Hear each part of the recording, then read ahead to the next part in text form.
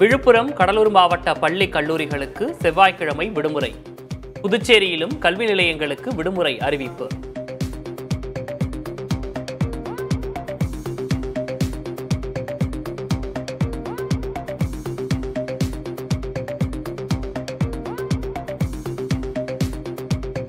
சேலம் திருவண்ணாமலையில் பள்ளிகளுக்கு மட்டும் செவ்வாய்க்கிழமை விடுமுறை. கிருஷ்ணகிரி மாவட்டத்தில் ஊத்தங்கரை போச்சம்பள்ளி தாலுகா பள்ளிகளுக்கு மட்டும் விடுமுறை அறிவிப்பு.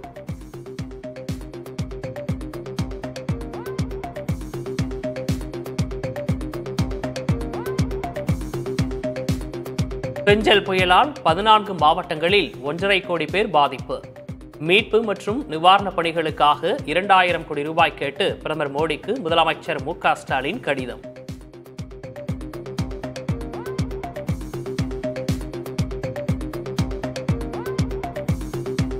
திமுக ஆட்சியில் விழுப்புரம் மக்கள் தூக்கம் தொலைத்துள்ளனர். முதலமைச்சரின் விமர்சனத்திற்கு எதிர்க்கட்சித் தலைவர் இபிஎஸ் பதில்.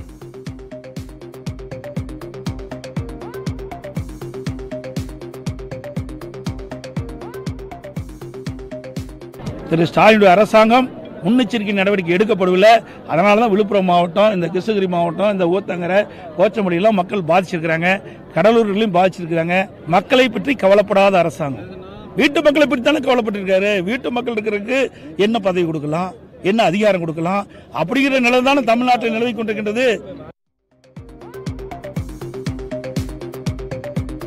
புதுச்சேரியில் மழை வெள்ளத்தால் உயிரிழந்தோரின் குடும்பத்திற்கு தலா ஐந்து லட்சம் ரூபாய் நிவாரணம். அனைத்து குடும்ப அட்டைதாரர்களுக்கு ஐந்தாயிரம் ரூபாய் வழங்கப்படும் என முதலமைச்சர் ரங்கசாமி அறிவிப்பு.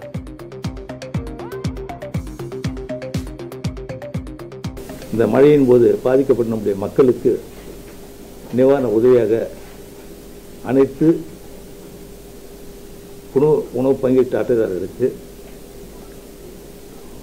ஐயாயிரம் ரூபாய் வழங்குவது என முடிவு செய்திருக்கிறது. உணவு பங்கீட்டு அட்டைக்கு ரேஷன் கார்டு ஒன்றிற்கு ஐயாயிரம் ரூபாய். திருவண்ணாமலையில் மண் சரிவில் புதையுண்டு உயிரிழந்தோரின் குடும்பத்திற்கு தலா ஐந்து லட்சம் நிவாரணம். துணை முதலமைச்சர் உதயநிதி ஸ்டாலின் அறிவிப்பு.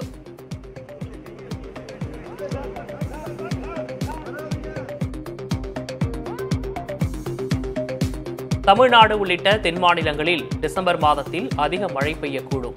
இயல்பை விட முப்பத்தி ஒரு விழுக்காடு அதிக மழைக்கு வாய்ப்புள்ளதாக இந்திய வானிலை ஆய்வு மையம் தகவல்.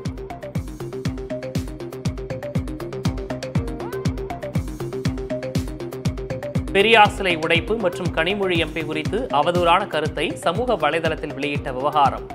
பாஜக மூத்த தலைவர் ஹெச் ராஜாவுக்கு இரு வழக்குகளிலும் தலா ஆறு மாதங்கள் என சிறை தண்டனை விதிப்பு.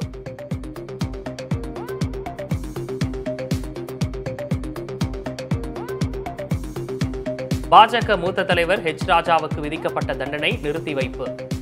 மேல்முறையீடு செய்ய ஏதுவாக சென்னை சிறப்பு நீதிமன்றம் உத்தரவு.